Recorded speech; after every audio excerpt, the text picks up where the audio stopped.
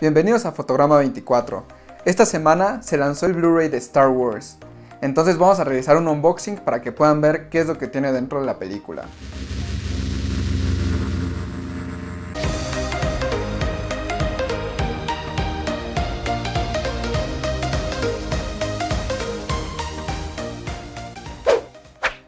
Lo primero que pueden ver es que, bueno, nosotros la compramos en su versión, digamos, eh, de alta gama, la versión de coleccionista, por llamarlo de alguna manera, que en algunas tiendas está a partir de 380 pesos. Hay otras dos versiones, una donde nada más viene un Blu-ray de la película sin características especiales. Y se rumora que va a haber la versión de la caja metálica o el Steelbook que viene con una imagen de Kylo Ren. Sin embargo, esa no la pudimos encontrar. Bueno, entonces comencemos con el unboxing.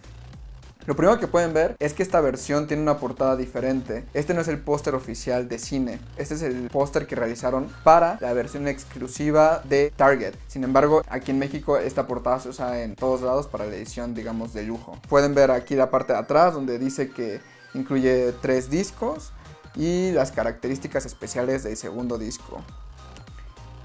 La espina, nada dice Star Wars, el despertar de la fuerza. Realmente no tiene nada muy interesante en los dos lados. Y bueno, eh, la caja de adentro tiene la misma portada y la misma parte de atrás. Del lado derecho nos encontramos con un, con un panfleto de estos que anuncian otras cosas de, de Disney, de HP, eh, de figuras de Infinity y de la nueva película de Civil War.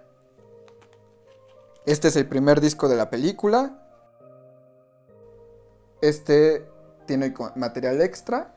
Como pueden ver es la reunión del cast en su primera lectura de guion. Y tenemos el DVD con una imagen de Rey y BB-8 en el desierto. Entre las características especiales incluye Los secretos del despertar de la fuerza, un viaje cinematográfico, el cual es un documental acerca del proceso de realización del filme de inicio a fin.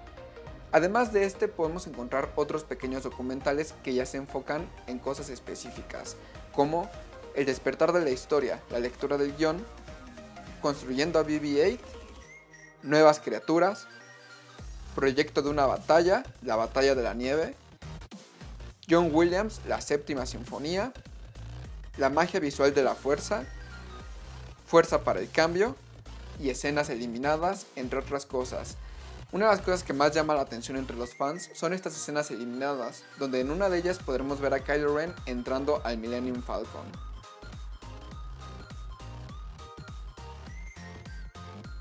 Coméntenos si lo van a, si lo van a comprar o si se van a esperar a que salga la versión en 3D, porque dicen que por ahí de diciembre pueden lanzar una versión, eh, digamos, extendida con el formato 3D.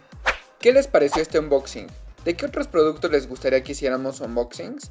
No olviden suscribirse, darnos like en Facebook y seguirnos en Twitter.